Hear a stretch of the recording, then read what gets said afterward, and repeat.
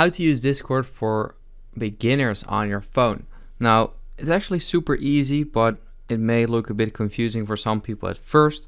Uh, but basically, all you want to do is um, open up the Discord app, create an account, and you'll end up right here.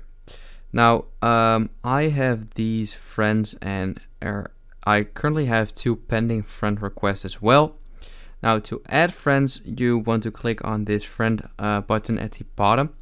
Then just click on the plus icon right there, and you can, um, yeah, fill in their username plus the hashtag right there, and then the code. Uh, so you can add a friend via that. Um, you can also search for uh, conversations or servers. And right here is just uh, recent mentions for in servers. Uh, at the bottom right, you will have your settings and all of that. Now, once you're here, you can have conversations with these friends if you have uh, friends on uh, Discord. And I currently have this one server. This is my server and I'm going to show you guys how to join and create a server in a bit too. But this is basically a server. There's uh, currently only two channels. There can be really big servers with a lot of channels and roles and all of that.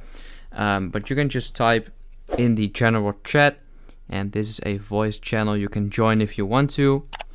And now to um, yeah to create or join a server, what you want to do is click on the plus icon right there.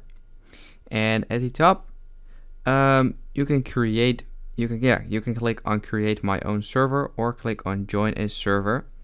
Now right here you have to fill in the um, invite link. Now you cannot really join or search for a server um, only really big servers uh, have that but like regular servers of your friends you can not really like search for them they'll actually have to send you a uh, invite link so um, yeah, you have to fill in this right here and then you can click on join server. Um, so that's how you can join the server. Now to create one, you can just click on create my own or this is actually pretty new I think. You can also start from a template. So let's say I would want to choose uh, a gaming, uh, if I want to create a gaming server. Then I can just click on gaming and then for a club or community or for me and my friends, just going to select for me and my friends. And then just, yeah, this is this this name is fine. You can also add uh, a yeah server icon right there. And then you can just click on create server. Now you can also immediately invite people, but I'm not, not gonna do that though. But as you can see right here, this is just a quick template um, of your server.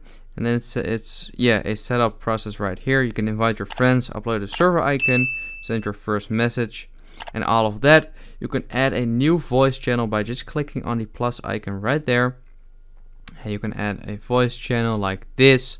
Uh, you can also or that's a text channel actually uh, you can also add a voice channel by clicking on here and then giving it a name um, and that's kind of it I know I'm going kind of fast through all of it, but it's just not really that hard. You can just, yeah, figure it out on your own. Pretty easy.